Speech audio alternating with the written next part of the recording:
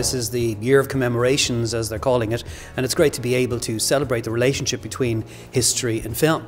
It's a very important relationship. We take so much for granted, especially these days when we're in what they call the post literate age, where people can read but don't.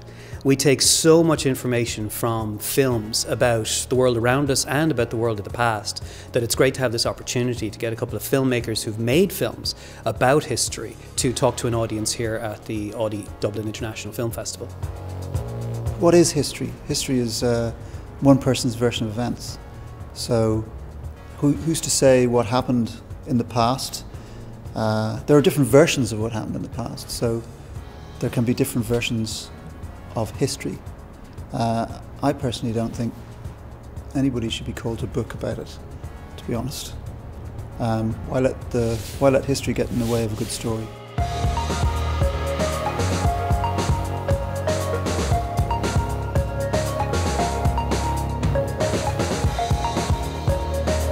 Why did you choose your role in Ultima Fermata? Well, very strange, because my father in Tunisia he was working for the train. And then when I read the script, I said, I want to do it.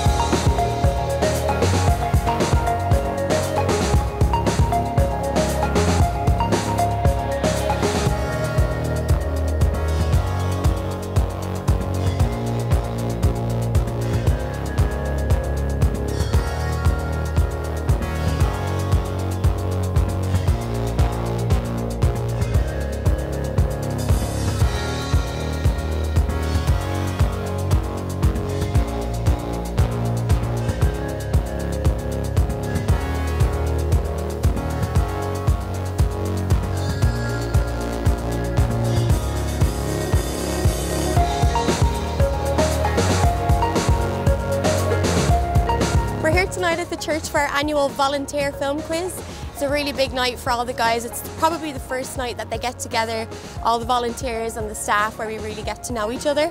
I know for some people competing in there, it's probably more prestigious than the audience award, so it's going to be really good. We'll have a couple of parodies, get to know each other. Really looking forward to it. I've done this festival eight years. I've been at the quiz eight years. We won it one year, and uh, I met my girlfriend here. Like so, um, yeah, it's a, uh, it's as high as it gets. Like the, for the glory. Thank you.